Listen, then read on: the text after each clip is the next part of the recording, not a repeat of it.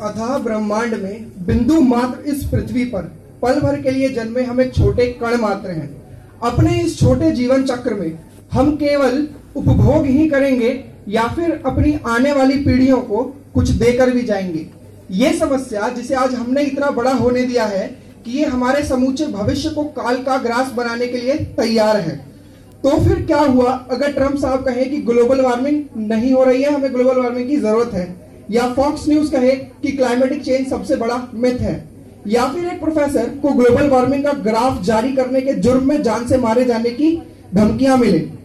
पर जब नोएडा में ओले पड़ने से सड़क बर्फ़ की चादर दिखाई दे और बेमौसम की बरसात मेरे घर में रहने वाली छिपकली से लेकर हमारे आँगन में आने वाली गौरैया तक को प्रभावित करे तो हमें ये मान लेना चाहिए कि ये कोई ऐसी समस्या नहीं है जो सौ साल बाद असर दिखाएगी। ये अपना असर अभी दिखा रही है। ऐसा ही कुछ हुआ है किरिबाती के लोगों के साथ, जिन्हें रातों रात अपना घर खाली करना पड़ा, क्योंकि समुद्र का घर सॉरी समुद्र का पानी उनके घरों में घुस आया था। म्यांमार के साथ भी कुछ ऐसा ही हो रहा है। और अगर ऐसा ही होता रहा तो वो दिन दूर नहीं, जब हमारे सभी तटवर्ती शहर जलमग्न हो जाएँगे। और इसका मुख्य कारण है पोलर आइस कैप्स का पिघलना। यह है ग्रीनलैंड, जो कि दुनिया का दूसरा सबसे बड़ा बर्फ़ का मैदान है। यहाँ पर बर्फ़ पिघलती है, जिससे आर्कटिक ओशन में पानी आता है, ये एक सामान्य प्रक्रिया है। परंतु पिछले दो सदियों में सॉरी हाँ दो दशकों में यह बर्फ़ पिघलने की दर असामान्य रूप से बढ़ी है। देखा जाए तो उन्नीस सौ बानवे से 2001 तक ये दर 34 गीगाटन प्रति वर्ष थी, जो 2012 से 2016 में बढ़ के 269 गीगाटन प्रति वर्ष हो गई।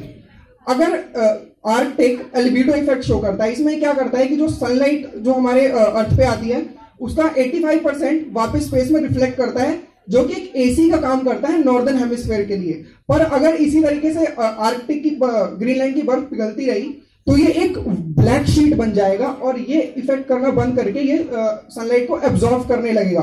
जो कि धरती के तापमान को बहुत ही असमान रूप से बढ़ाएगा। बढ़ते कार्बन के स्तर ने न केवल बर्फ़, बल्कि समुद्र के गर्भ को भी अपने जद में ले लिया है। वो कोरल इकोसिस्टम जो हमारे विकास की पहली प्रक्रिया का हिस्सा थे, पिछले 30 वर्षों में वो भी 50 प्रतिशत से अधिक समाप्त हो चुके हैं। ऐसा ही ओशियन क्या करते हैं? ओशियन कार्बन डाइऑक्साइड को डायरेक्टली जो है एब्जॉर्व करते हैं। पर क्योंकि हम बहुत ज़्यादा कार्बन एमिट कर रहे हैं तो ओशियन की इतनी कैपेसिटी नहीं है कि वो सारे कार्बन डाइऑक्साइड को एब्जॉर्व कर सके। और जो कूड़ा हम फैलाते हैं वो ओशियन के आ, की एक्वेटिक लाइफ को डैमेज करने का काम कर रहा है। ये इंडोनेशियन रेन फॉरेस्ट है। पाम ऑयल प्लांटेशन की वजह से पिछले कुछ समय में इस तरीके से दिखा है। पिछले पंद्रह वर्षों में 80 प्रतिशत से अधिक पेड़ काटे जा चुके हैं। वो वर्षावन जो कार्बन डाइऑक्साइड को एब्जॉर्व करते थे कार्बन डाइऑक्साइड को एब्जॉर्व करते थे और सभी वन्य वनस्पतियों और वन्य जीवों को खुद में समेटे हुए थे। ये इकलौती जगह है जहाँ पर orangutan tiger rhinoceros and elephant एक साथ दिखाई देते हैं।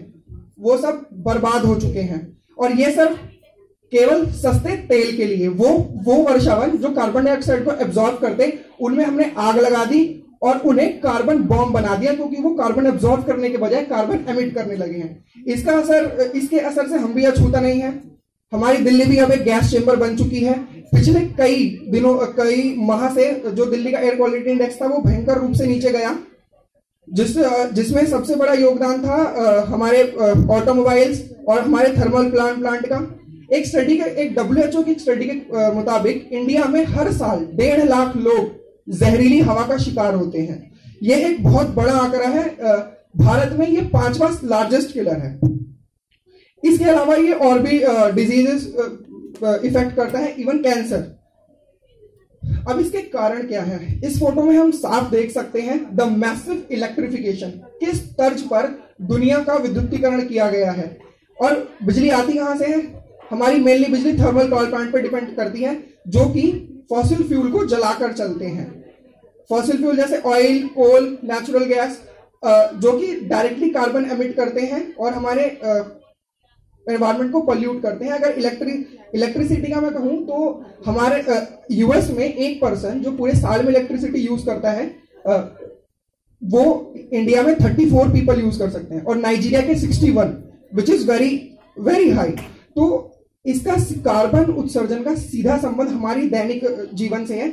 अगर हम अपने डेली लाइफ में चेंज लाएँ तो हम डायरेक्टली कार्बन को कट कर सकते हैं। हम क्या खाते हैं, क्या किस तरीके का यातायात इस्तेमाल करते हैं, हर एक चीज़ को बदलकर हम उसे रोक सकते हैं।